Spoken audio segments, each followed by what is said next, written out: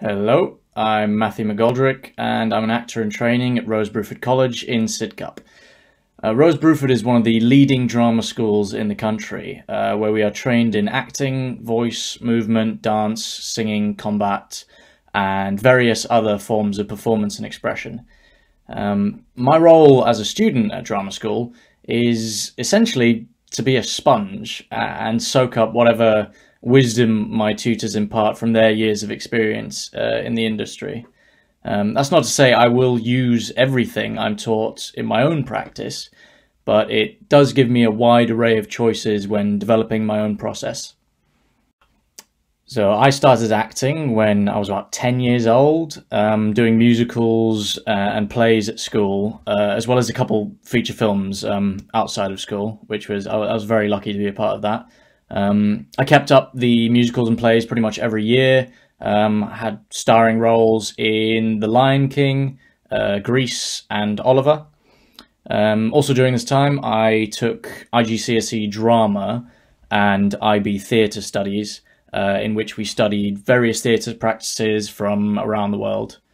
Um, after I graduated, I did a foundation in acting at Regent's University in London.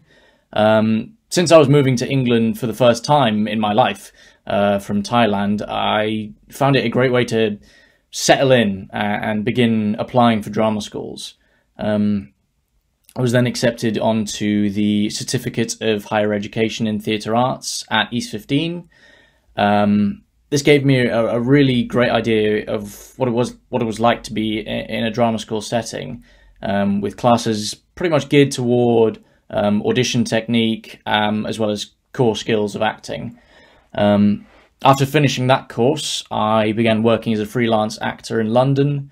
Um, I was fortunate enough to get or be involved in uh, five or six short films, mainly by um, students and uh, recent graduates.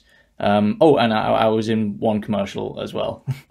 while I was continuing with my drama school auditions, so yeah, getting out there and, and actually doing work was really rewarding, even if it was like mostly student films. Um, I felt like for the first time I was a proper actor, like getting um, just out there finding my own work um, and starting like the hard graft of it all. Um, and then sort of after three years of trying, I, I was finally accepted onto the BA acting course at Rose Bruford, and I am very happy to be here. Um, there isn't really a typical day, as it were. Um, we're always engaged in something new, uh, no matter what class we're doing. Um, but in a general sense, we're either in a skills block or a project block. Um, skills blocks are usually made up of the core skills I, I mentioned earlier, and project blocks are where we are tackling a play or, or scene studies uh, with the aim of a production or showing at the end. Um, for skills blocks, uh, the year group is split into a few companies that do all the classes together.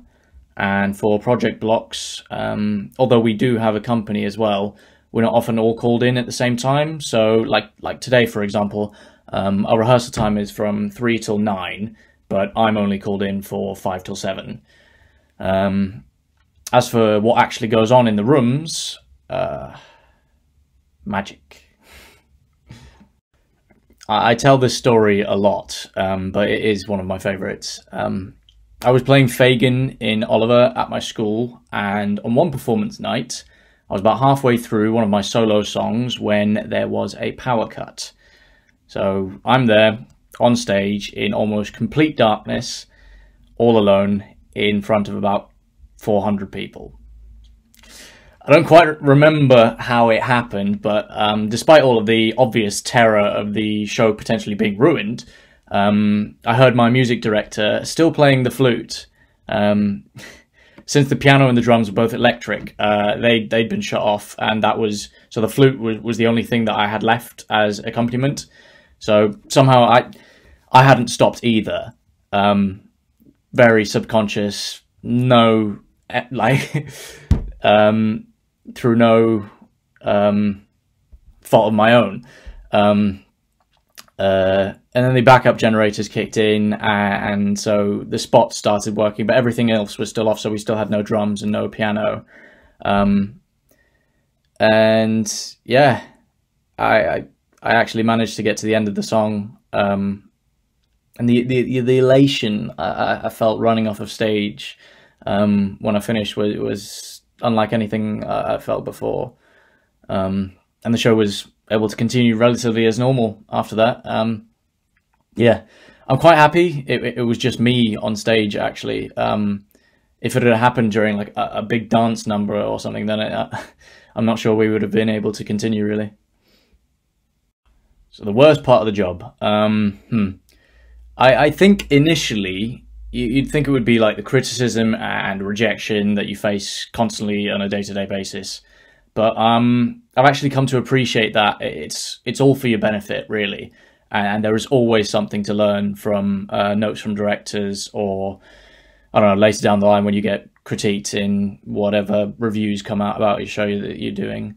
Um, I think the thing for me now is sort of the image that acting has as a profession, and I just wish it was taken more seriously because it's often regarded as, as like unnecessary to teach in schools and not something that will help you when you go for like real jobs or whatever. But I completely disagree. I, I think there are so many transferable skills within acting training uh, that are vital to everyday life, and acting itself is entirely valid. Um, seeing how much we TV and films we consume, and, and if people go to the theatre, then that as well. Um, yeah, it just it doesn't happen by itself. So best part of the job. Um, every day is different. And I think the most wonderful thing is seeing new things in the people around you um, who you've spent a lot of time with. Um, I love being surprised by people when they get up on stage and do something I've never seen them do before and, and really get a chance to show their talent and, and why they love doing what they do because that's what it's all about. I think the main key skill um, for this profession is is openness uh, and willing to try and fail and, and try again. Um, you need to have a thick skin to face a lot of the criticism that actors do. Um, but if you can learn from that and keep going, then that's a great asset.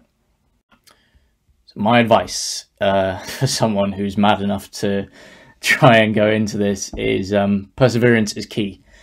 Uh, know that it's not all going to come together right away, and it's going to take a lot of work. Um, but communicate. Communicate with people who are also thinking of going into it. Um, ask for their thoughts and opinions.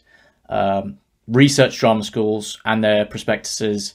See what they're about. Um, reach out to people who've had first-hand experience um, with them and see what they think.